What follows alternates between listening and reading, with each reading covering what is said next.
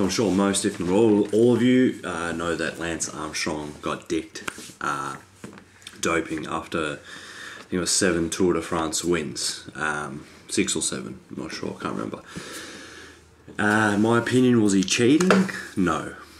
Um, as far as I'm concerned, it was a level playing field. Um, most of those guys were on it. Uh, most, if not all of them, are doping, especially at that time in the 90s and, and early 2000s. Um, I think everyone, pretty much everyone was on it. Everyone that was a contender, in my opinion, was on it. And uh, for him to be for him to be made an example like that, um, I don't think it's fair. I don't think the way he handled it, um, and some of the some of the shitty things he did during that period, I don't agree with them. Um, he threatened people and um, caused a lot of problems with his uh, teammates, friends, and and uh, acquaintances and things like that. I don't agree with that at all. But um, I still think I still think he deserves the wins. Everyone's on the fucking juice. He was still just a better cyclist at the end of the day. He was a machine, and uh, yeah, you know, some people think, oh, I can just get on get on a bit of the dope and I'll be a machine straight away. No, you know, you can get on it, but you've still got to train your ass off, and you've still got to be a damn good rider, and uh, that's exactly what he was. Um, I'm not agreeing with doping or anything like that. I'd, I'd never do it myself. Um, I'm not on that kind of competitive level anyway.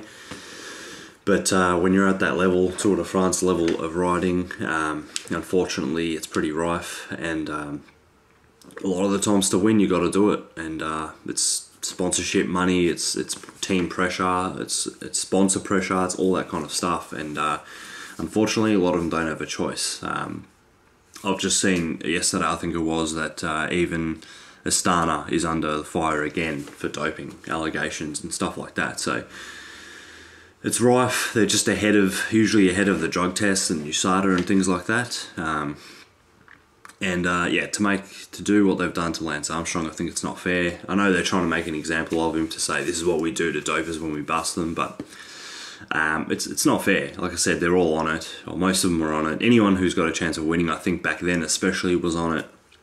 Um, and yeah, it's just just the way it is. Um, people were saying if to, if they'll give if they were to give it to the if they to give the yellow jerseys, the winners of the Tour de France, if they were to give that to the next clean person, um, it'd be way down the line of standings, way down the line. So that just goes to show that most of them were on it. Um, that's my opinion, especially. Uh, but sorry, that's my opinion, but especially back then in the '90s, early 2000s. I think it's a lot cleaner now.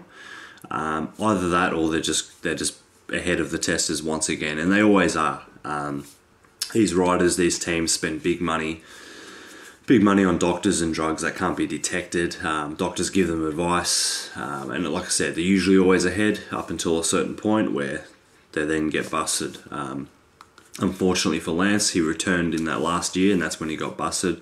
If he didn't return, he probably would have got away scot free. So even in an interview, I saw that he said he regrets coming back. So um, Lance won't say it outright. I've watched a few documentaries on him. He won't say it outright that he still deserved to win and um, everyone was on it. I don't think he wants to dob anyone in like that, but um, he does throw a few hints out there.